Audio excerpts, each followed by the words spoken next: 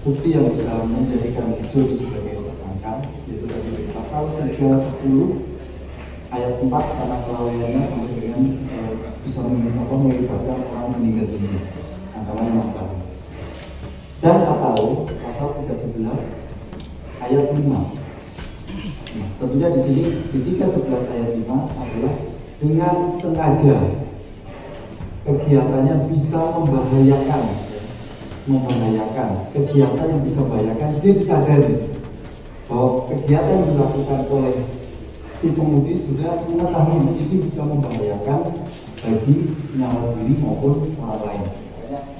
Dan atau di 311 ayat 5 yaitu sampai dengan meninggal dunia bahwa dia sudah mengetahui bahwa seseorang yang mengemudikan kendaraan kenapa dikenakan 311 ayat ini mengemudikan kendaraan untuk tidak boleh bermain HP.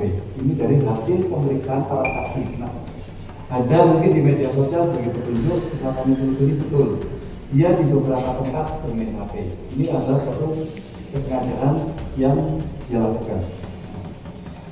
Kecepatannya telah dihitung oleh tim penyidik hitungan tadi dari jam kecepatannya pada saat terjadinya titik tebur adalah 130 sedangkan di luar jalan tersebut rambu-rambu itu terpasang 80 km per jam.